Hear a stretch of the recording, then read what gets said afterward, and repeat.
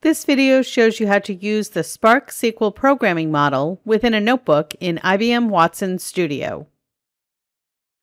Spark includes extension libraries that can be used for SQL and data frames, streaming, machine learning, and graph analysis. In this video, you'll see how to build SQL queries to extract the number of crime incidents with a specific nature code.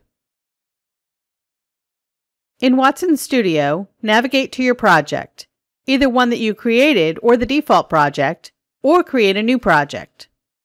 On this screen, you can create new notebooks or add data assets to the project.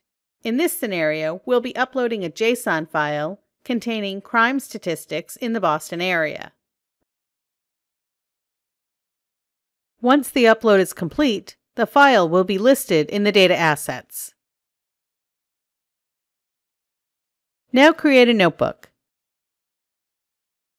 Name it Crimes Analysis.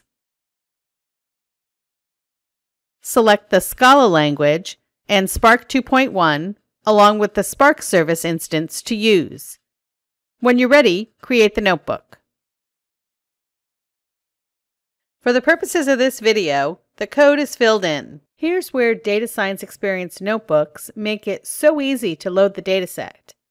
In the Files slide-out panel, locate the JSON file click Insert to Code, and choose Insert Spark Session Data Frame.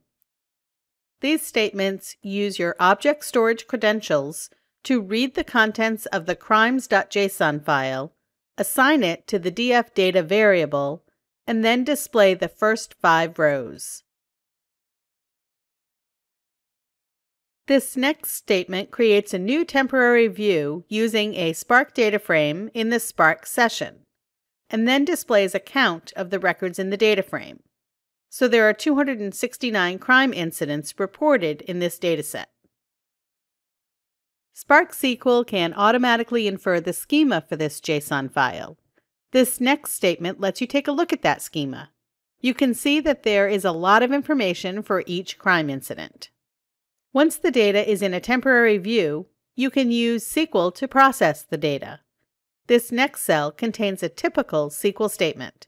SQL statements can be simple, as in this case, or very complex. In this case, we're collecting just the different nature codes for the reported crime incidents. From here, it may be interesting to determine how many crimes have each nature code. This SQL statement selects all records from DF data where the nature code is larceny. In the next statement, indicates that there are 27 crime incidents involving larceny. You can leverage the other extensions using the same common programming framework for streaming, machine learning, and graph analysis. We hope this video has shown you how easy it is to use Sparks SQL. Find more videos in the IBM Watson and Cloud Platform Learning Center.